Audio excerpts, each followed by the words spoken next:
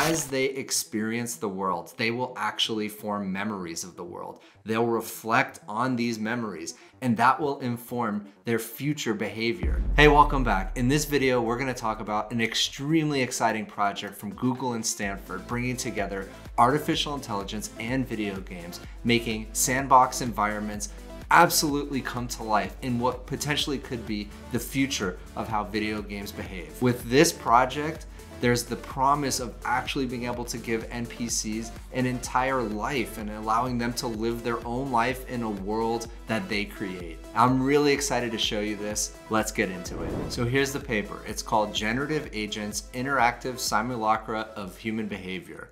And I actually had to look up what that word meant. It means uh, an image or representation of something else. And what this paper does is put together an architecture for creating generative agents. Basically, characters that you can put in a game, and it's much more than that, but I'm going to simplify it. Characters that you can put in a game and allow them to live their lives with very little input from the user. And they go and they interact with their world, they interact with other characters completely on their own. And this is using ChatGPT, of course. So the researchers gave these generative agents about a paragraph of text to describe what they are, who they are, and from that, they're able to live their lives. And here's a couple examples. Generative agents wake up, cook breakfast, and head to work. Artists paint while authors write. They form opinions, notice each other, and initiate conversations. They remember and reflect on days past as they plan the next day. Now, that last part is super interesting. As they experience the world, they will actually form memories of the world. They'll reflect on these memories, and that will inform their future behavior. So again, no longer are we gonna have static NPCs. These are NPCs that are gonna interact and understand and learn from their world and change their behavior based on that. It is so, so cool. Here it says, they store a complete record of the agent's experiences using natural language, synthesize those memories over time into higher level reflections, and retrieve them dynamically to plan behavior. I mean, really, really cool. You can imagine how video games are gonna be influenced by this paper in the future. So this game was inspired by The Sims, but it looks really akin to RimWorld in terms of design. They may have actually used RimWorld to build the sandbox game. So the first example this paper talks about is a Valentine's Day party. And all they said to one of the agents was, hey, you're gonna have a Valentine's Day party. And from that, let's read what it says. The agents autonomously spread invitations to the party over the next two days, making new acquaintances, asking each other out on dates to the party, and coordinating to show up for the party together at the right time. Again, all of this was based on a very simple push of, hey, you're gonna have a Valentine's Day party. So let's talk about a few other things I found in this paper that were super interesting to me. I'll link the paper down below in the description. The agents act consistently with their past experiences and react believably to their environments. Again, we haven't really seen that in video games ever. Maybe The Sims, but this is like The Sims on steroids. And through all these interactions in game, emergent social phenomena occurs. So here it says constantly growing memories as new interactions, conflicts, and events arise and fade over time, while handling cascading social dynamics that unfold between multiple agents. Success requires an approach that can retrieve relevant events and interactions over a long period, reflect on those memories to generalize and draw higher level inferences, and apply that reasoning to create plans and reactions that both make sense in the moment and in the longer term arc of that agent's behavior. And of course, I'm talking about this through the lens of video games because I'm personally very excited about that application. But they mention a few other applications which I think are notable. One application they talk about is social roleplay scenarios, or for an example, interview preparation, where somebody can rehearse safely a very difficult and conflict-laden conversation. And another way generative agents can be used is with social platform prototyping. So before a new social platform goes live, you can release a bunch of these generative agents, let them interact with each other, test the edges, test the bounds of that social platform before actually releasing it to the public, the humans. And you can test all of the negative things that could possibly happen within that platform. So here's the little town that they created. It's called Smallville. It's a sandbox world. They have a park, co-living space, bar, cafe, basically all the things that you would expect in a little town. And within a house, they have a bathroom, kitchen, common room, bedrooms, garden, etc. And agents, generative agents in this world understand all of these different things that are available to them within this world.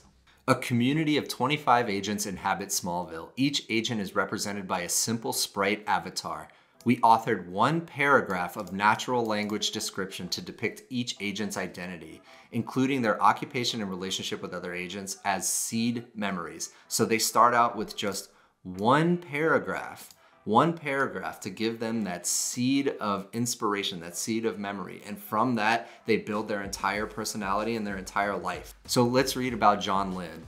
John Lin is a pharmacy shopkeeper at the Willow Market and Pharmacy who loves to help people. He is always looking for ways to make the process of getting medication easier for his customers. He lives with his wife, who is a college professor, his son, who's a student. He loves his family. He knows the couple next door for a few years. He thinks the man next door is very kind. He knows his neighbor. They like to discuss local politics together. So, and so it's really setting up the interactions between the generative agents. So agents communicate with each other in natural language just like anybody in the real world would. Here's an example of what a segment of the conversation looks like. So Isabella is talking to Tom about the upcoming election. Isabella says, I'm weighing my options, but I've been discussing the election with Sam Moore. What are your thoughts on him?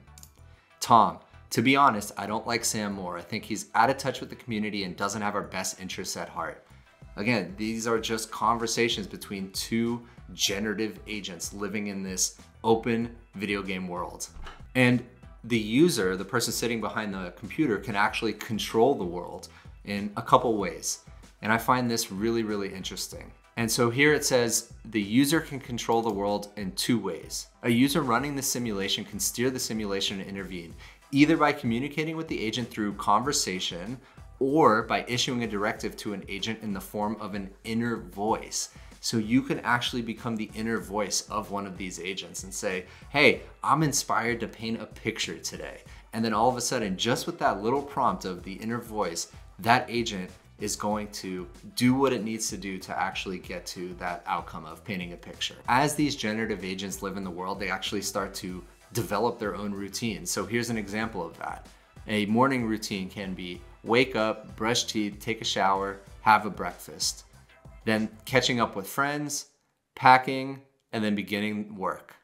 And all on a very rigorous time schedule. This graph really defines what the architecture is to make this happen. First, they perceive something, something in the world. And next they have a memory stream. You can think about it as all the things that are happening to them in the world get logged to that memory stream. They retrieve that memory stream as retrieved memories and they either plan and or reflect on those memories to act next, to perform their next action and decide what their next action should be. And so in this graph, you can see the memory stream. So it's logged by time and it talks about what specifically they're doing. So desk is idle, bed is idle, Isabella Rodriguez is cleaning up the kitchen, etc., etc. And so based on this memory stream, we can ask a question to Isabella. What are you looking forward to the most right now? Isabella Rodriguez is excited to be planning a Valentine's Day party at Hobbs Cafe on February 14th from 5 p.m. and is eager to invite everyone to attend the party. So here they have the actual algorithm for deciding what's next. They have recency, importance, and relevance as weights. And so in this graph, they're showing how Isabella, who was given a task of, hey, plan a Valentine's Day party, was able to actually form relationships with other generative agents in the world, tell them about it, and those agents told other people about it. So here it is. I'm planning a Valentine's Day party. That's Isabella. Isabella told Tom, Latoya, Wolfgang, Klaus, John, etc. And then Sam, for example, told Jennifer. So there was actually two degrees of removal. Isabella told Sam, Sam told Jennifer, and they coordinated to actually show up to the party together. So I invite you to please take a look at this paper. It is fascinating. And before we end the video, you can actually demo this game. So let's take a look. So here's the game. It's reverie.herokuapp.com slash ARXIV underscore demo. And I'll drop the link in the description below. So I paused it, but I'll push play now. So one thing to note is this is not actually live. This is a pre-recording that's playing out, but this did actually happen in this generative world. And so you can see the characters moving around, and this is just one section of the world as well. And so you can see all the different characters here. So if I click on one, it's gonna scroll up and it's gonna show me where they are. And if I scroll to the bottom, it's gonna tell me about them. So this is Francisco Lopez. His current action is having lunch, gives the location, and he's not in a conversation. Let's look for somebody else. Here's Sam Moore, and here's the current conversation Sam is having with Latoya. And there he is, Sam Moore, walking around. And again, completely based on artificial intelligence. All 25 of these generative agents are living their life within this world now you can start to really imagine how powerful this can be in a game like The Sims or a game like RimWorld or even like Skyrim or GTA. These games are populated with NPCs with static and sometimes boring dialogue that just stand there waiting for you to interact with them. But now with artificial intelligence, you can give them entire lives and they will go on and the game will be completely dynamic completely based on not only what you're doing in the game, but also what all of these other generative agents are doing in the game. Very, very cool. So check out this game, leave a comment below, let me know what you think. And if you like this video, please consider giving a like and subscribe, and I'll see you in the next one.